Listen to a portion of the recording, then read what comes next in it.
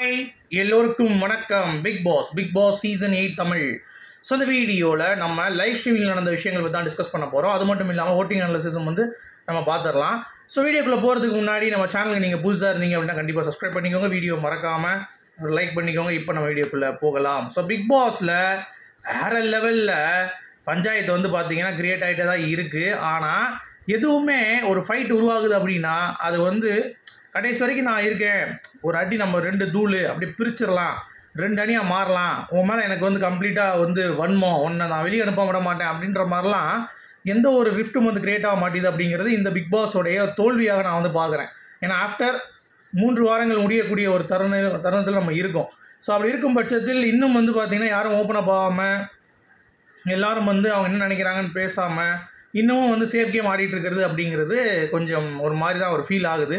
ஏன்னா இப்போ கூட நீங்கள் ரீசெண்டாக கவனிச்சிங்கன்னா அந்த கஸ்டமர் வந்து ரிவ்யூ பண்ணலாம் அப்படின்ற மாதிரி ஒரு பாயிண்ட் வந்து கொடுத்துட்டாங்க பிக் பாஸ்லேருந்து சரியா? ஸோ கஸ்டமர்ஸ்லாம் வந்து உட்காந்துருக்காங்க ஒரு பக்கம் இன்னொரு பக்கம் வந்து ஹோட்டலில் வேலை செய்கிறவங்களாம் வந்து உட்காந்துருக்காங்க கஸ்டமர்ஸ் ரிவ்யூ பண்ணுறதை தாண்டி உள்ளே இருக்கிறவங்க இந்த வட்டம் ஹோட்டலில் வேலை பார்க்குறவங்க நீங்கள் ரிவ்யூ பண்ணலாம் கஸ்டமர்ஸ் அப்படின்ற மாதிரி சொன்ன உடனே எல்லாம் எந்திரிச்சு பேசுகிறாங்க அப்போ எனக்கு தெரிஞ்சு கண்டிப்பாக ஏதாவது பெரிய பிரச்சனை வரும்னு சொல்லி நான் எதிர்பார்த்தேன். ஆனாலும் அது வந்து ஒரு எல்லைக்கு மேலே தான் போகிறாங்க இப்போது ஒரு டெம்போ இருக்கும்ல.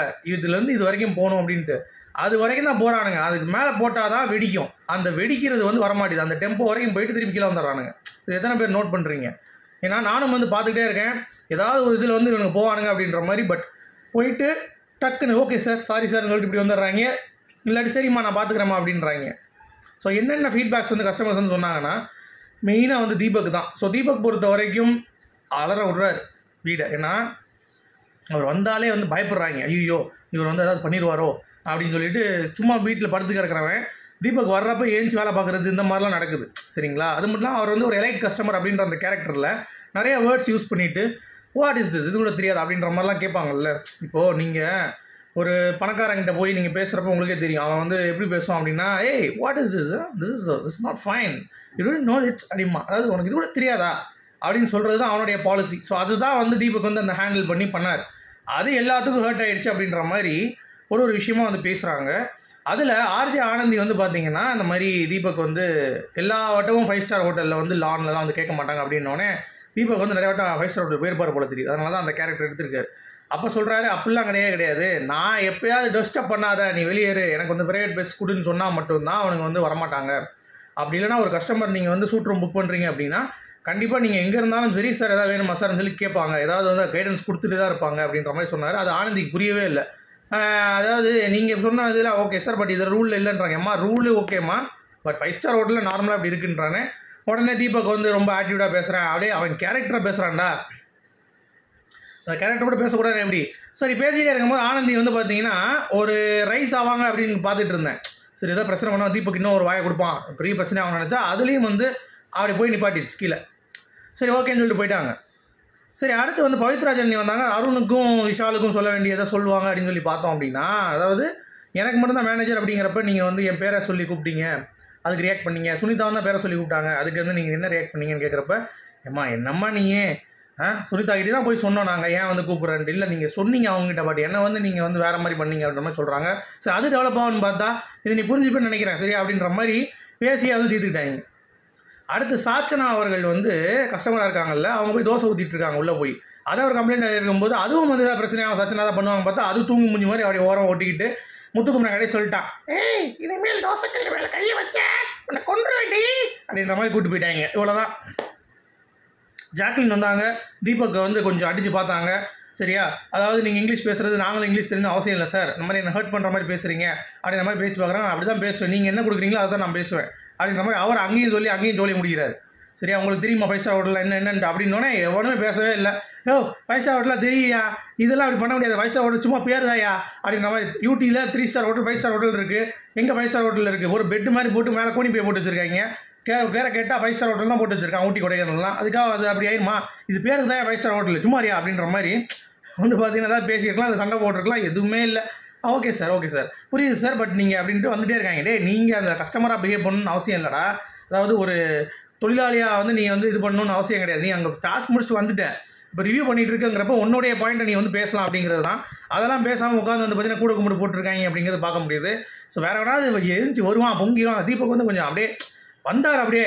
இன்னும் கொஞ்சம் அவரை கிண்டி விட்டுருந்தோன்னா வேறு லெவலில் பஸ்ட் அவுட் ஆகிருப்பார் கொஞ்சம் நல்லா இருந்திருக்கும் பட் அதை வந்து எவனும் பண்ண மாட்டான் அப்படிங்கிறது தான் வந்து பாயிண்ட்டு ஸோ இப்படியே போயிட்டு இருந்தால் பிக் பாஸ் வந்து ஒன்றுமே இல்லைங்க. அப்புறம் செயினை வந்து திருடிட்டாங்க அப்படின்ற மாதிரி சில ஒரு ப்ளே பண்ணாங்க. ஆனால் அதுக்கும் வந்து சிசிடிவி இல்லைன்ட்டு சுனிதாவோட போர்டை வந்து தீபக் எழுதி பிரச்சனை பண்ணார். அதுவும் வந்து ஒர்க் அவுட் ஆகலை.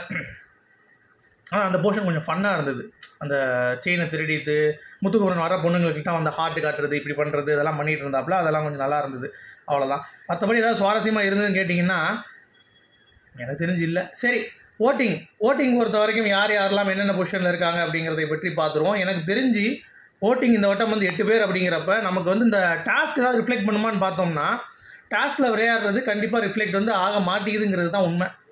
ஏன்னா நல்லா பெர்ஃபார்ம் பண்ணுறவங்க வந்து அவங்களுடைய பாயிண்ட் ஆஃப் வியூவில் ஒரே ஒருத்தருக்கு மட்டும் தான் ஓட்டு வந்து கீப் ஆன் ரிப்பீட் ஆகிட்டு இருக்குது அது முத்துக்குமரனுக்கு. கிட்டத்தட்ட நாற்பத்தொம்பதாயிரம் ஓட்டு ஐம்பதாயிரம் ஓட்டு வந்துட்டார். இருபத்தெட்டு சதவீதம். இது வந்து மிகப்பெரிய ஒரு எட்டு பேரில் இருபத்தெட்டு சதவீதம் அப்படிங்கிறது சேலஞ்ச் சான்ஸே இல்லை. ஸோ அவருக்கான ஓட்ஸ் வந்து பார்த்திங்கன்னா நல்லா சும்மா கிரிப்பிங்காக தான் வருது. அடுத்து சௌந்தர்யா நாற்பத்தி ஓராயிரம் வாக்குகள் இருபத்தி மூணு பர்சன்ட் ஓட்டு. அடுத்து அருண் மூணாவது இடத்துல பத்தொன்பதாயிரத்தி அறநூற்றி எட்டு ஓட்டு.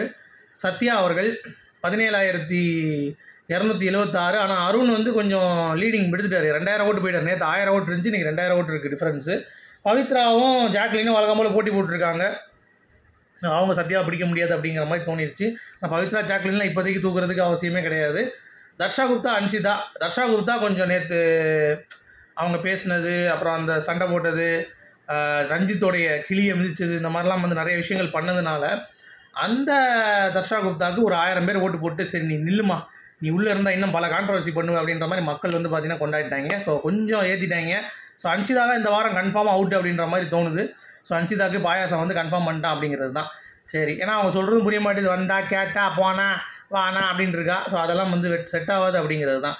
அதே மாதிரி சுனிதா வந்து பார்த்தீங்கன்னா அந்த மறந்துட்டேன் சொல்கிறதுக்கு இந்த சத்யா இருக்கார்ல அவரை பற்றி கொஞ்சம் லோ கிளாஸ் கேரக்டரு அவர் ஃபைவ் ஸ்டார் ஹோட்டல் அப்படின்ற மாதிரிலாம் கொஞ்சம் கமெண்ட் போட்டாங்க. அதெல்லாம் கொஞ்சம் தவிர்த்துருக்கலாம் எனக்கு தெரிஞ்சு. ஏன்னா அந்த மாதிரி இருக்கிறவங்களும் வந்து பார்த்தீங்கன்னா ஃபைவ் ஸ்டார் ஹோட்டலுக்கு வரதான் செய்வாங்க. அவங்க ஆட்டிடியூட் சரியில்லை அவங்க அப்படி பண்ணுறது சரியில்லை.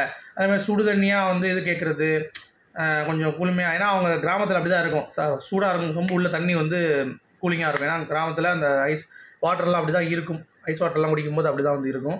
ஸோ அதை அவர் வந்து கேட்குறாரு அப்படிங்கிற மாதிரி தோணுது. ஸோ என்னை பொறுத்த வரைக்கும் சத்யா அவருடைய கேரக்டர் நல்லா தான் பண்ணார். பட் இவங்க தான் ஏதோ வந்து தெய்வ குத்தம் பண்ண மாதிரி வந்து பேசிகிட்டு இருக்காங்க அப்படிங்கிறது தான் ஸோ உங்களுடைய கருத்துக்கு சொல்லுங்கள் மீண்டும் சந்திப்போம். Thank you wise good bye